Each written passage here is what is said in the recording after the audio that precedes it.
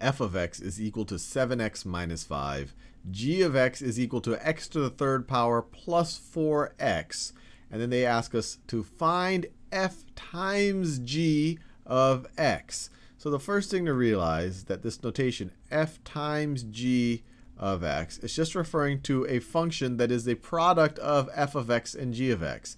So by definition, this notation just means f of x, f of x times times g of x. And then we just have to substitute f of x with this definition, g of x with this definition, and then multiply out these algebraic expressions.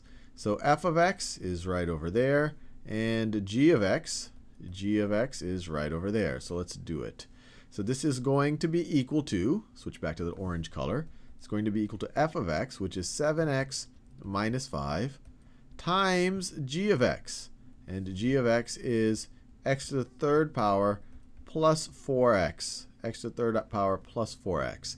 And you could, we're multiplying two two expressions that each have two terms. You could use FOIL if you like. I don't like using FOIL because you, you might forget what it's even about. This is really, FOIL is really just multi, using the distributive property twice. So for example, you take this expression, whatever you have out here, if you had a, a 9 out here, or an a, or an x, or anything, now you have 7x minus 5. If you're multiplying it times this expression, you would multiply this times each term over here. So when you multiply 7x minus 5 times x to the third, you get, and I'll write it this way, you get x to the third times, actually let me write it the other way. You get 7x minus 5 times x to the third times x to the third, and then you have plus 7x minus 5 plus 7x minus 5 times 4x times 4x.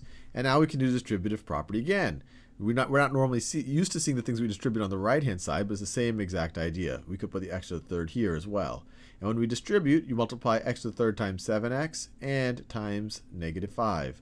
x to the third times 7x is 7x, 7x to the fourth power. X to the third times negative 5 is minus 5 x to the third.